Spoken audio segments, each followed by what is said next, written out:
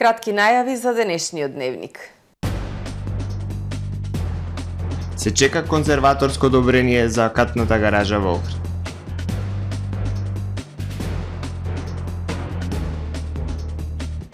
Невладините од Охрид, здружено со практични примери на терен, посочуваат каде не се почитуваат препораките на УНЕСКО.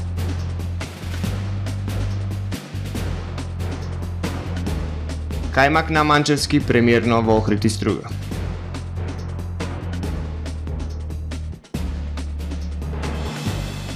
Триесет и две букови стебла бесправно исечени на галичица.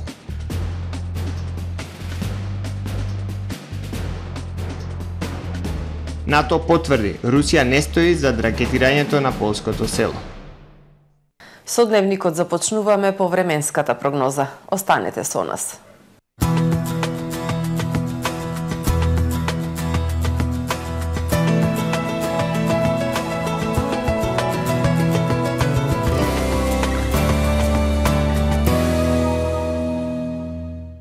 Охри денес преовладуваше умерено облачно време со повремени сончеви периоди. Во попладневните часови зголемување на облачноста, кое што во вечерните часови ќе услови нестабилно време со врнежи од дожд.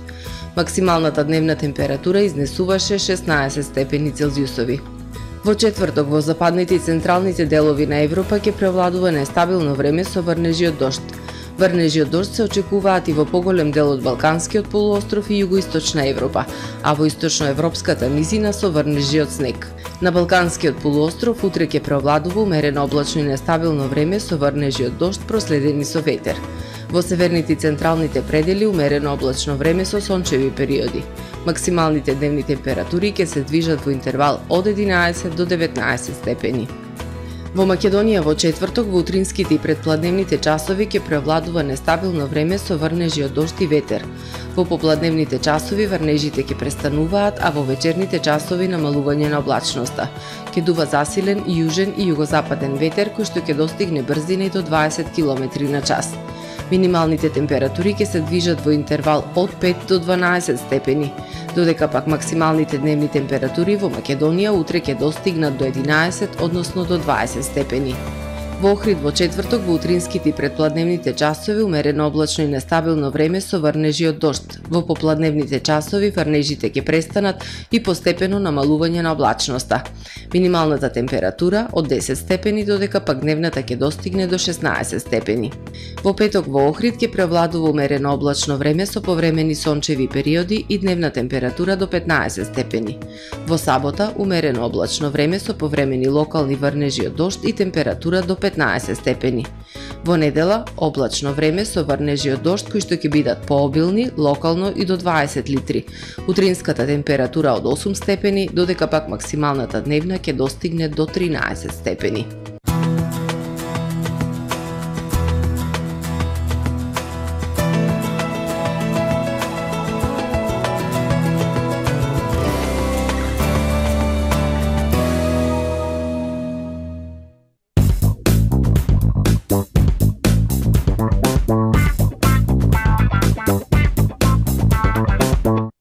Добре дојдовте во светот на Кармен Бау Центар. Во беспрекорно уреден продажен простор, купувањето во еден Бау Центар никогаш не било попријатно. Со гордост ви го представуваме нашиот шоурум Мараци со најголем избор на плочки од Мараци и санитарија од светски познатите брендови Грое, Колпасан, Идеал Стандард, Рока, Унитас. На располагање ви е нашиот архитект кој ќе ви помогне во осмислување на вашиот проект. Располагаме со најбогатата палета на ламинат во државава. Одберете од стоте различни дизајни на Swiss Chrono. Покрај стандардниот избор на фасадните системи Knauf и Бекамент, ви нудиме богат избор на професионален алат на реномираните производители Bosch и Divol. Кармен Бау центар на улица Железничка. Супер акција во Миса Маркети. Бейкрол со 80 грама 33 денари. Рафлс кетчап или скара 70 грама 35 денари. Нескафе Голд 75 грама 109 денари. Бурса сладко од костени 360 грама 99 денари. Протеин пудинг 180 грама 59 денари. Airwick 299 денари. Head and Shoulders 7 во 1 270 мл 189 денари. Пазарете со мерак, ваши миса маркети.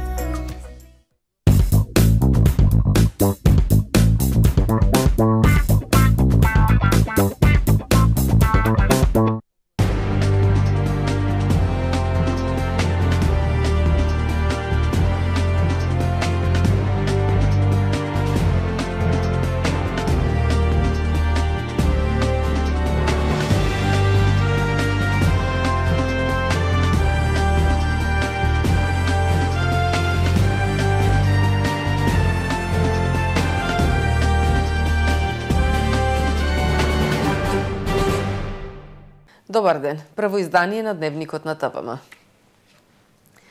Изградбата на катната гаража заглавена во бирократски лавиринт. Секторот за урбанизам чека конзерваторско одобрение од Охридскиот завод и музеј.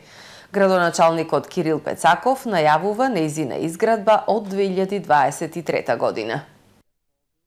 Предолго се чека да отпочне изградбата на катната гаража во Охрид. Граѓаните гледаат спас од собраќајниот хаос со паркирање во градот со изградбата на катната гаража, која се најавуваше и од предходниот градоначалник Константин Георгиевски и од сегашниот Кирил Пецаков. Изградбата на катната гаража од изјавата на градоначалникот Пецаков после изгледа и заглавина во бирократските лавиринти. Капиталните проекти кои што се веќе во некаква си процедура, а, иако трајат скоро а, на едната година и 8 месеци, а другата е скоро година и 1 месец. А, има една, еден проект 9 месеци кој што кој што тат имаме проблеми по однос на конзерваторското одобрение затоа што станува збор на подрачје во контактна зона со заштитеното а, градско подрачје и конзерваторското одобрение е потребно. Катната гаража треба да се изгради на површина од 1215 метри квадратни со расположлив капацитет за гаражирање за повеќе од 150 возила. Локацијата е во близина на градскиот пазар. Последниве 2-3 месеци вршевме и одредени измени во проектот за за катната гаража, меѓутоа оние кои што се нанапред во во самото проектирање, односно во самата процедура, тоа се секако катната гаража и и, плошта до Чинар, каде што веќе завршија таму археолошките, конзерваторското е предодобрение, средено е све со, со проектот, така да очекувам во 2023 одобрение за градба и за едниот и за, и за другиот проект кој што, бе, кој што всушност беа и делот мојата програма, меѓутоа подготвуваме и документација за катна гаража, кој кажам документација урбанистички првично треба да следиме, не станува збор за никаков проект, за уште една локација, меѓутоа затоа откако ќе го завршиме тој процес тогаш ќе разговараме. Инаку, за катната гаража, за која е изработена документација за градба од предходната градска власт кај градски пазар, изработена е физибилити студија, извршена е експроприација на земиштето и има одлука за трајно користење на земиштето. Изработен е проект за изградба на катната гаража и добиена е согласност од владата за распишување на повик за јавно-приватно партнерство. Невладините од Охрид го кренаа гласот. Со посети на терен преку практични примери ќе посочуваат каде не се почитуваат препораките на УНЕСКО. Денес обвинија за непочитување на препораките при изградба на стамбен објект за колективно домување на улицата Јане Сандански. Велат се гради на поголема површина од дозволените 50% од градежното земјиште. Од Обштина Охрид најавија дека утре ќе се произнесат со официјален став во однос на обвинувањата. Неколку невладини организации од Охрид со серија посети на терен преку практични примери посочуваат каде не се почитуваат препораките на УНЕСКО. Според активистите, најголемиот проблем е претераната урбанизација, преку која заради лични и бизнис интереси со години се деградира градот. Обвинуваат дека локалната и централната власт ништо не презимаат за заштита на културното и природното наследство. Се градат висококатници, кои ја надминуваат дозволената градежна површина од земјиштето. Секторот за урбанизам е тука како да наречам, ги злоупотребуваат своите позиции, односно одредени лица ги злоупотребуваат своите позиции, све со цел да, да дојдат до некој профит преку изградбата на тие станови. Тоа го има детектирано и во последниот стратегиски план за рехабилитација, значи владиното тело кое што го изработува овој стратегиски план за рехабилитација на Охридскиот регион, кој што план ќе го, ќе го прати во УНЕСКО како документ дека ево нешто е превземено. А всушност, на лице место во пракса, не е ништо превземено, чак што уште повеќе, повеќе е влошена ситуацијата. Уште повеќе имаме изградено диво објекти и понатока се продолжуваат со градење на, на висококатници, на, на, или во централно градско подречје, или објекти приватни во Националниот парк Галичица. Денес посочија на непочитување на препораките при изградба на стамбен објект за колективно домување на улицата Јане Сандански. Жителите на местната заедница поднесоа и петиција, обвинуваат за изградба на габаритен објект со кој се нарушува статиката на околните куќи. Најголемиот проблем е тоа што ќе се наруши мојата статика, а јас се консултирав со статичари, тројца статичари и тие знаат, газата знае кои се тие. Тие статичари ми рекоа дека сигурно, со сигурност дека ќе се наруши статиката на мојата куќа, која е 70 сантими до, до зградата, до темелите, а газдата не сака да подпиши да одговара за мојата куќа ни случајно. Повеќе пати разговаравме, тој не подпишува, односно да гарантира за статиката за мојата куќа која што може да се искриви, а може и да се преврти. Планот за управување со културното и природното наследство во Охридскиот регион е на сила од јануари 2020 година, а дозвола за градба на конкретниот објект е дадена во ноември истата година. Факт кој според активистите докажува дека не се почитуваат препораките.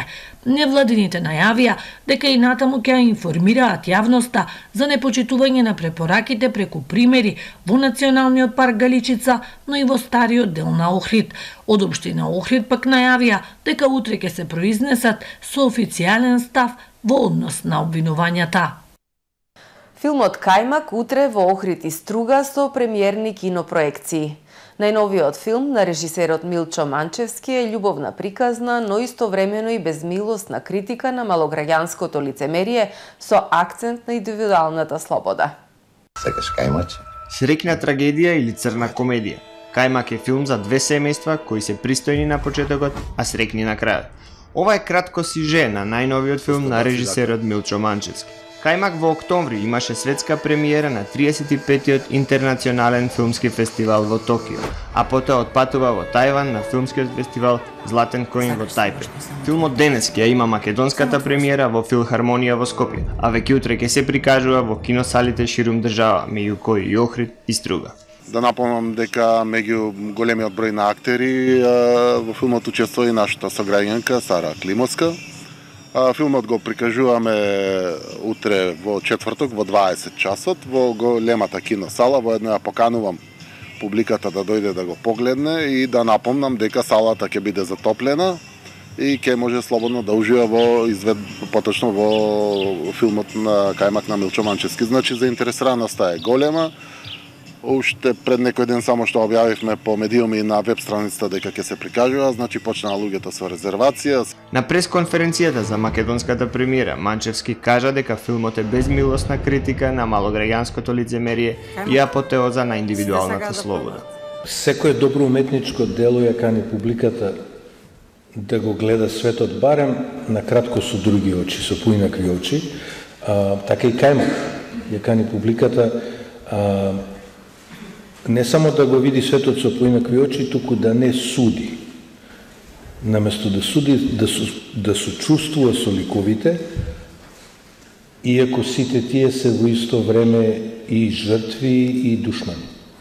Главните улоги во филмот покрај охриѓанката Сара Климовска ги толкуваат Камка Тоциновски, Александар Микич, Симона Спировска, Ана Стојановска и Филип Трајковски. Филмот е финансиран од Агенцијата за филм на Северна Македонија и државните фондови на Данска, Холандија и Хрватска, како и од Европскиот фонд Евроимаш. 17 кандидати успешно ја завршија обуката за лични асистенти на лица со попреченост. Црвен крст Охрид во рамки на програмата Лична асистенција на лица со попреченост успешно ја спроведе првата обука за лични асистенти на лица со попреченост. Оваа обука беше поддржана од Обштина Охрид и се спроведуваше во изминатите два месеци. 17 кандидати кои успешно го положија финалниот испит се стекнаа со основни познавања за видовите на попреченост, видови помагала и нивна примена, помош на работното место, образовен процес и помош во заедницата на лица со попреченост, како и помош на корисникот во домот и начинот на комуникација со лицата со попреченост, информираат од Црвен крст Охрид. Јавното предпријатие Охридски комуналец информира дека во петок 18 ноември 2022 година ќе организира вонредна акција за подигнување зелен отпад во населба Долно Коњско.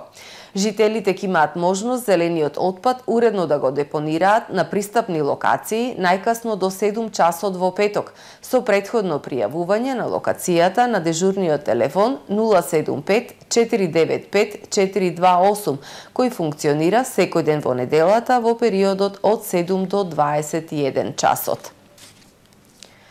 32 бесправно пресечени букови стебла на Галичица, бесправно градење во Љубаништа. Следува билтенот на Савара.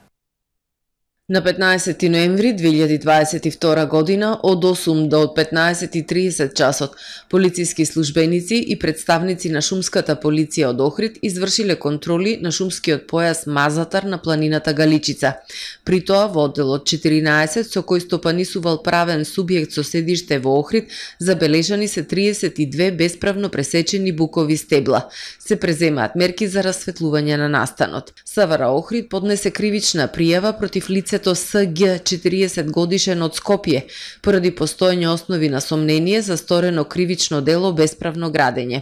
Тој на катастарска парцела во атарот на Охридското село Љубаништа, кое е заштитено подрачје, без соодветна документација и без согласност од Националниот парк Галичица, изградил три објекти цврста градба и еден базен. По извршениот инспекциски надзор, овластен градежен инспектор при општина Охрид донел решение за отстранување на нелегалните објекти. Во продолжение да ги погледнеме и вестите од светот. Земјите членки на НАТО наитен состанок поради експлозиите во источна Полска во близина на границата со Украина, во кои загинаа две лица. Генералниот секретар на НАТО, Јенс Столтенберг, потврди дека ракетите кои експлодираа на територијата на Полска синоќа, убивајќи двајца цивили, не биле истрелани од Русија, ниту пак се резултат на намерен напад. Според Столтенберг, нема никакви индиции дека Русија подготвува офанзивни воени действија против НАТО. Дозволете ми да бидам јасен, за ова не е виновна Украина, крајната одговорност е кај Русија, додека продолжува со својата незаконска војна против Украина, изјави Столтенберг. И полскиот председател Анджеј Дуда рече дека многу е веројатно ракетната експлозија во полското село да била предизвикана од украинската воздушна одбрана. Нема знаци дека проектилот што го погоди селото бил намерен напад врз Полска. Наместо тоа, веројатно се работи за несреќен инцидент, рече председател. И Украина исто така негираше дека е виновна за експлозијата во полското село. Поранешниот американски председател Доналд Трамп официјално ја објави својата кандидатура за републиканска номинација за председателските избори во 2024 година. Златното доба на Америка до прва доаѓа, рече Трамп, ветувајќи дека ќе го победи Џо Бајден на изборите во 2024 година. За да ја направам Америка повторно голема, вечерва ја објавувам мојата кандидатура за председател на САД, рече Трамп, стојки на сцената до американските знамиња и транспаренти со слоганот Направија Америка повторно голема. Доналд Трамп, 45-тиот американски председател, оваа должност ја обавуваше од 2017 до 2021 година. Тој има сериозна конкуренција помеѓу републиканците, затоа што има и такви кои не се поддржувачи на трампизмот. Дрон со бомба удрил во танкер со нафта во близина на Оман, соопштил представник на одбраната на Блискиот исток. Нападот се случи доцна синоќа, а воените структури на Велика Британија кои го следат поморскиот сообраќај во тој регион соопштиле дека знаат за инцидентот и моментално го истражуваат нападот. Со танкерот управувала компанија во собственост на израелскиот милиардер Айдан Офер, До сега никој не ја презел одговорноста за нападот. Хјустон, немаме проблем. Артемис 1 е на пат кон месечината. Денес, НАСА успешно ја лансира лунарната ракета од најновата генерација во рамки на програмата Артемис, 50 години по последната мисија Аполо. НАСА предходно два пати се обиде да лансира ракета на месечината, но неуспешно поради технички проблеми. Пред да се одвојат од ракетата, четирите мотори проголтале скоро 2,8 милиони литри гориво за време на полетувањето. Ракетата би требало да помине 25 дена во Вселената носејќи ја капсулатаОрајон, без екипаж, но доколку се биде безбедно, планирано е во неа да има и луѓе во едно од следните лансирања. Почитувани гледачи, ова е се што подготви информативната редакција на ТВМ за денес. Ви благодарам што бевте со нас. Пријатно!